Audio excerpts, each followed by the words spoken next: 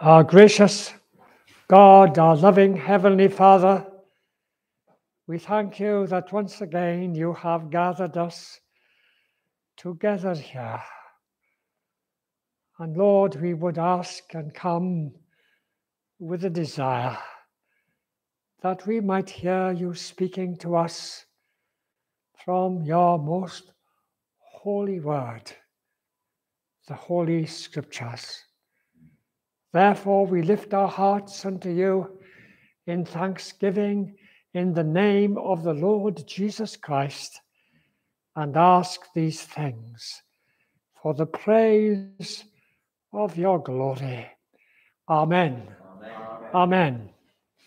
Now then, we turn to that first chapter of Luke. And um, one thing that I can say is this that um, when I was listening to the reading this morning in the Old Testament, I was uh, drawn to the fact because we are looking into Luke and uh, dwelling on the part now of the first chapter. I was looking to the part of uh, to, to thinking of the along these lines because this has been the framework in my mind of the order. Joshua, before that, coming up in the car, we spoke about, at least mention was made about the word of uh, a prophecy, the word that the whole Bible, of, of something prophetic being speaking, spoken, and then, of course, it being fulfilled. And we remember that there was a, a significant a prophetic act of bringing out kings, putting their foot on their necks, putting them back into the cave, and then that what that was a picture of, we read that immediately they were off on their way to do in order what they had to do and then come back to that place again. Now, that spoke to my mind because as I've been looking into Luke's gospel for a while now, I've had to have a complete change of mindset about the view, the way that I have a view of looking into Luke's gospel and having regard for it and coming to see in the first instance it was written to one person only. One person only. And that sets the Gospel of Luke aside in its particular, peculiar way. I use that word peculiar in as much as there were a company of people that were known of the peculiar people because they realized that the Lord had chosen them and picked them out and gathered together as someone gathers a box of jewels together. That's why they had that name. Whether it was taken upon themselves to use it or whether it was spoken of by those who were listening to them and affected by their message. They were given that that name had come upon them. And whilst they existed, we don't know in this country of anyone who, who are church grouping set up who have that name today. Um, but as long as they were, that was the place. And now, how do we know about it today? How do I know about it today? Because you go along to a building and then you read in the headstone or, or the stone that's up there on somewhere on the, face of the building about them being a peculiar people. And um, I say that now because you see, it was written first of all, and Acts, incidentally, with the in the same way, with the same manner, with the same ministry to one person only, and that was Theophilus. Of course, there's a, uh, an application to it, to us, as there is of every of, of every part of the whole scripture, from the first verse in Genesis to the last verse in Revelation. There is an application out of its message to us, but in its primary sense and detail, that was the word that, or I can say, looking at this scripture, this is the word that, that Luke was recorded. And in the first four verses, there are two words that stand out particularly and stand out. Um, they may not be, they're not translated as that in the King James Version, but that's the word accurately and, and uh, accurately and uh, um, reliably. They're accurate and reliable. Accurate. The word here in the King James Version is diligent. It speaks about the way that Luke went about diligently. And uh, that word is, is, is, is, is in the meaning of the word. And in the meaning of the word is this word accurate. And then because of that, it is reliable, pains to bring a word to um, Theophilus that was going to assure him that what he had already been taught was the right message, the right words from God, because whoever taught him was absolutely faithful. The word is that they, he catechized them. And all the things that were spoken to him,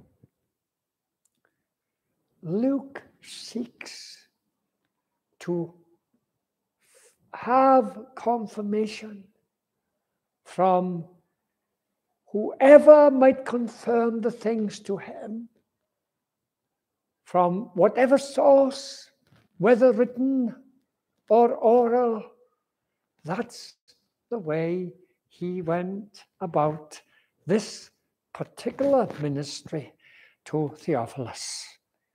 And beloved, we know, we know. I thank God that those who brought to me the message of the gospel went about it with the same care and concern. Care and concern for me as a sinner that was lost before I came to know the Lord Jesus. Cared for me in pastoral ministry the building up to see that whatever was set was green, fresh pasture, so that one could be established, so that one could go on, knowing indeed that whatever foundation was laid, it could be built upon. And I think of my dear brother here, Brother Peter, and the burden. I think of many who we would associate with and be at one with in heart and mind and spirit. And I think of those that have come here and will continue to come here to minister the word, one sole purpose to be absolutely faithful to God and to be faithful to all to whom they minister. And so we come. And you see, um, if I could also say this, recently I happened to listen twice to a recording of Lloyd Jones teaching in Romans. And he's teaching there particularly about the, the, the, the promised son who should come, Isaac. And he deals with a passage, I suppose, in one sense, it's relevant to this this morning. And um, God willing, this evening, I hope to come on to the uh, leading on from where we left off this morning to think of the conception of the Lord Jesus Christ and uh, his coming into the world. And um, um, it's, it's relevant in that sense there because it speaks of the promised one. We're dealing in Romans 9, somewhere at, uh, in, in, Romans 9, and, and uh, if you were care to look it up on um, uh, mlj at mljtrust.org, it comes in this the, the, the, the promised. It's about the promised son or the promised seed, as it were, as it is, as it was in Isaac. And it's there. And and one can't I I, I sent it to someone because I knew that it would be good for him to hear it and he was, uh, if I say impressed, the thing that spoke to him was the meticulous detail in that. I suppose it was a Friday evening of exposition.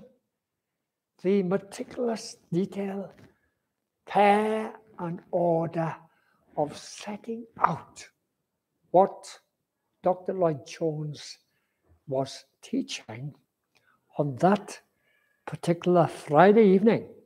And beloved, I, I, we know this about his ministry. It's truly prophetic because in our day and generation, it speaks volumes of what we need to hear in this present day and generation. Now then, I must get down to the text. I want to come to the birth of John the Baptist. And Luke,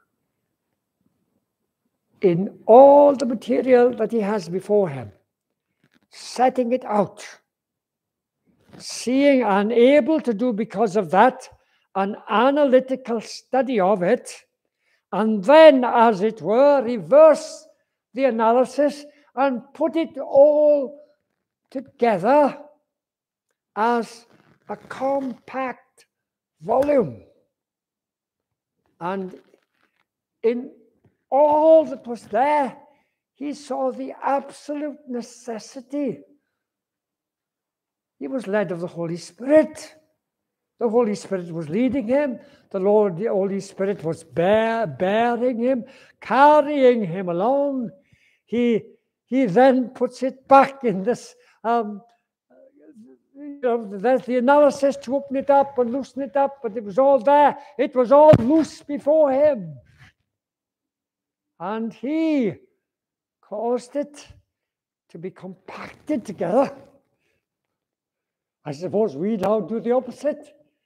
Take from the compacted volume by analysis, open it up piece by piece, little by little. And in putting it down, he chooses this event as the first piece. He's led to see it as the necessary piece. He's led to see it as the necessary thing prerequisite to the conception and birth of our Lord Jesus Christ deals with the one who was the forerunner, who brought the prerequisite message of introduction with the attitude that I must decrease, that he might increase. And that's was where Luke begins. And if I were to take a text, I would have to take the words, and I must take text, the words of Gabriel. Fear not, Zechariah, thy prayer is heard, it says here. Thy prayer is heard. Now then, Zechariah is there. It's a once a lifetime opportunity. Some commentators would say at the present time, then, at that present time, at that present time, there were about 20,000 priests in the line of all the courses that David ordered and set down for ministry. About 20,000 of them. All right, that's a commentator, um, having done his research, and uh, whatever was the facts and figures that he, and wherever he got them from, that was the estimate. And uh, to explain why it was that Zachariah was chosen by Lot.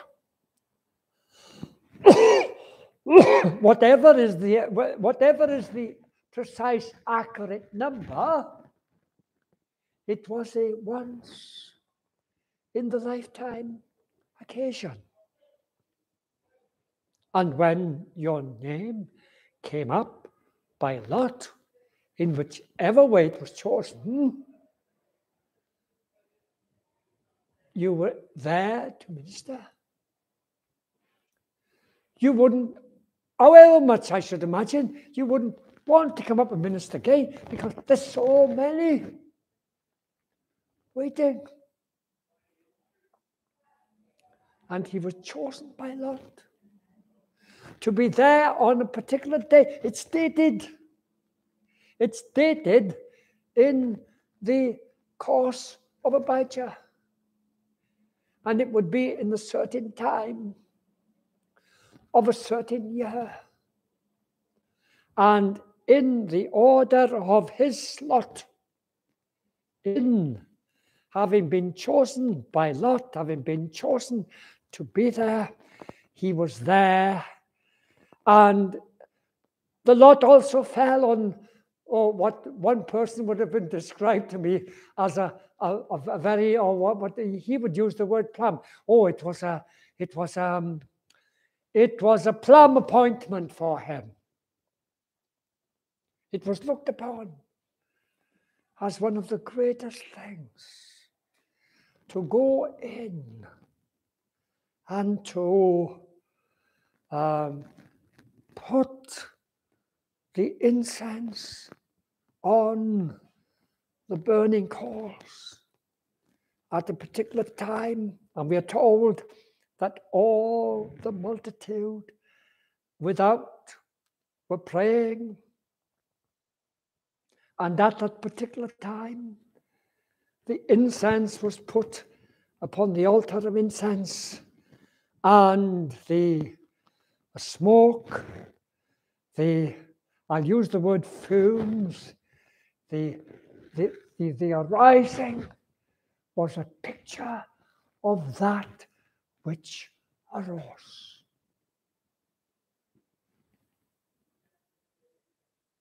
On this day, there appeared unto him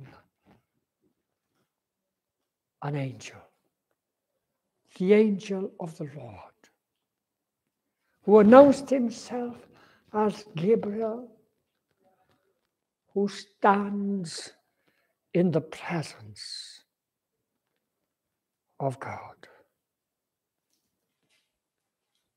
And he is standing on the right side. We take it that if the altar is facing east, he's standing on the south side. And he appears unto Zachariah.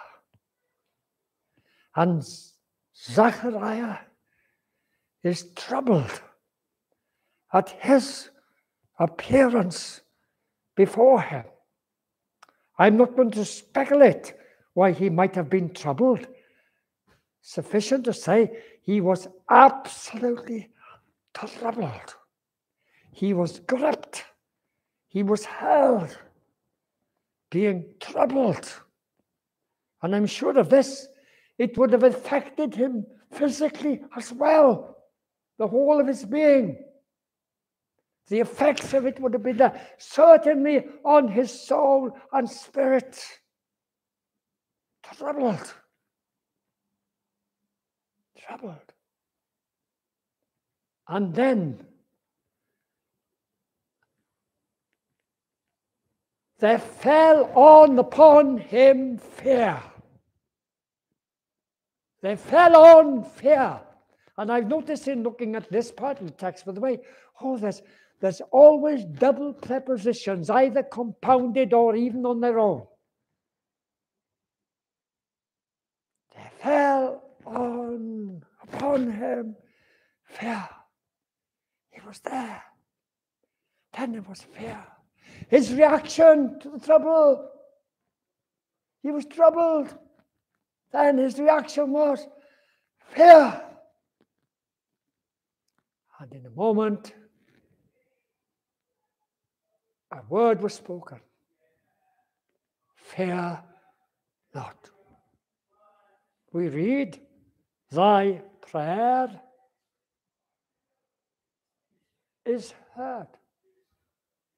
When you read it, what Gabriel said, Thy prayer was heard.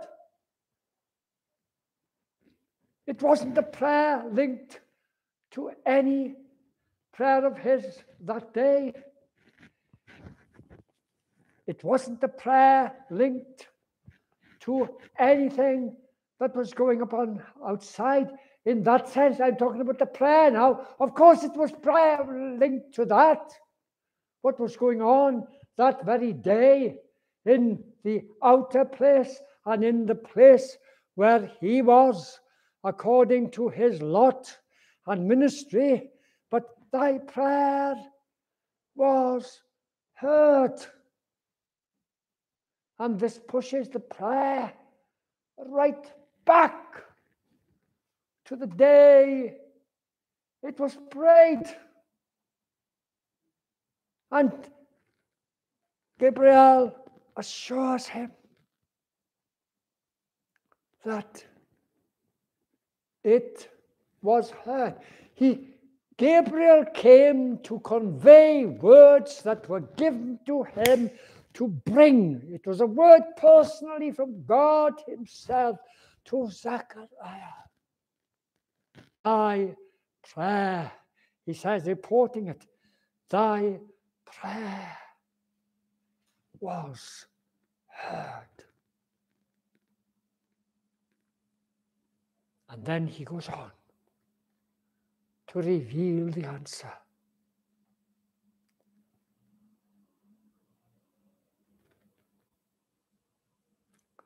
I'm in a quandary for a moment. Was he praying according to the whole hope of every family in Israel that they might be a bearer of the Messiah? Was he praying with particular insight that he might be the bearer of the forerunner? One doesn't know. What one does know is this that whatever he prayed arose. And whatever he prayed was linked to the coming of the Lord Jesus Christ. According to God's eternal purpose which he purposed in Christ Jesus. Linked. And beloved, this is our encouragement that whatever we're praying, whoever we're praying for, whatever we are praying for, whatever is our ministry, what is it? It's linked to God's eternal purpose in Christ Jesus. For us, yes, personally. For everyone to whom we speak, that the purposes might be worked out. That's our encouragement. That the purposes might be worked out. Oh, beloved, this is an encouragement and a strengthening and something I pray that is of the Holy Spirit that will be feeding the impetus, whether it's a first inertia, inertia, or any other time of the moving of God's energy that's in Himself to speed us on in our ministry. Perhaps that might be the sole point this morning of whatever is the purpose of this ministry to encourage us, beloved, to speed on. And that doesn't necessarily mean whizzing along, to plod on, to be steady uncertain in the going on. Oh, beloved, this is what Luke would have wanted with everything else. That Onesimus, that that that that that, that uh, um, Theophilus might go on, plodding on steadily when there was time for him to move quickly, if he should be sent to another assignment, for he was nevertheless the most excellent Theophilus, a, a title of some ambassage or whatever, at least that's the way the word is used today, of an ambassador, His Excellency, the ambassador.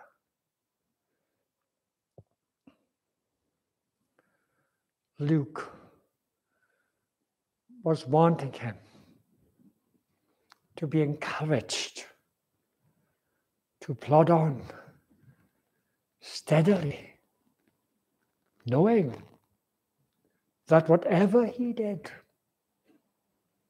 that his work was not empty of purpose. Indeed, it was full of purpose as he lived and moved in the will of God according to the movings and workings of the Spirit of God, of God Himself, moving at His own pace. Beloved, isn't it a wonder? Isn't it a wonder that God should do so by His grace, giving us grace?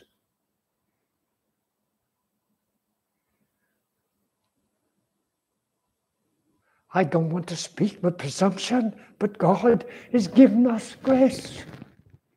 This whole exercise for us has become known as a means of grace. There are some people who have emphasized this more than anything else, as it were, to the extent that even baptism and the Lord's Supper, they say, is, is to this You know, it's, it's, they speak of it as a means of grace, but uh, but but but the thing that is essential, the thing that is essential in order to make that a means of grace is the the, the, the, the, solidness, the feeding of the word, the word of God, the message of and from the Holy Scriptures to build us up. And I didn't, as I said, don't be presumptuous, but beloved, the Lord is moving amongst us this morning graciously, in a gracious way, to give to us grace. Oh, I noticed this morning that we didn't say the grace at the uh, time that was there that I might have been expecting. But oh, beloved, there is the grace of our Lord Jesus Christ upon us. Oh, there's ample evidence of the love of God. And there's certainly evidence of the fellowship of the Holy Spirit. I'm going like this because, uh, you know, um, it can't be touched, it can't be felt in that sense. But, beloved, in the Spirit, we know, we know, we know, we know that it is so. It is so. It is so. It is so.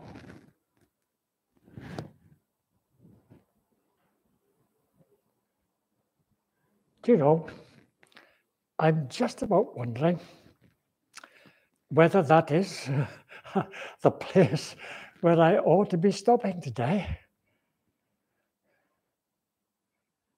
I'm just wondering. Perhaps it is essential that I should stop there, right? I tell you what I did want to sort of just consider. I am Gabriel, who stands in the presence of God. I don't know whether I'm defeating my purpose here. I would say something because it does come out in, in, in the whole thing of what I've spoken or tried to speak of, of the, the, the four verses of introduction and this very first event, you know, he's got to stand to attention. If you're standing at ease, you've got to come to attention to do anything. He's certainly attentive when he's there in the presence of God and he's standing to attention to be off straight away as soon as he knows. It's the time for him to move as soon as God speaks to him. He's off and move. Now then, if I go down there this morning, I oh, I trust I haven't spoiled it. Beloved, I've got to be content this morning to commit it to the Lord. Even if I did go on after that particular point, to say, oh, to say no more. Amen. Thank you.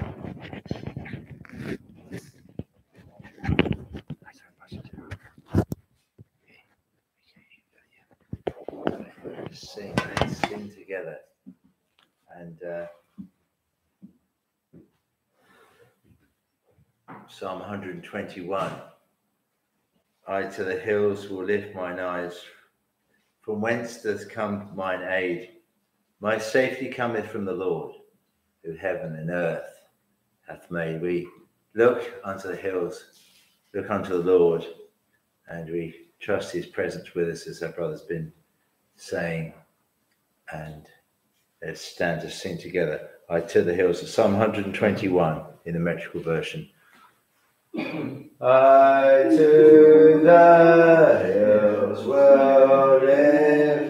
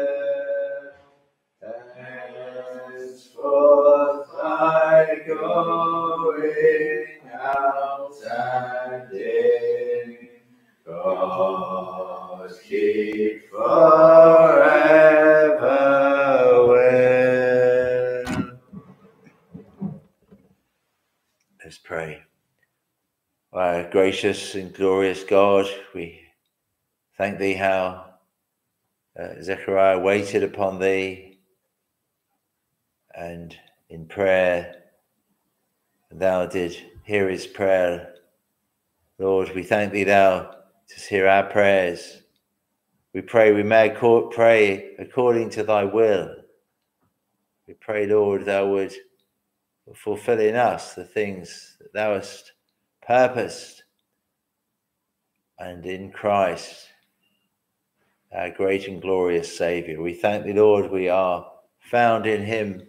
This Lord's Day, we're found together in thy house, together to worship the living God, together to rejoice in so great a salvation that came by our Lord Jesus Christ.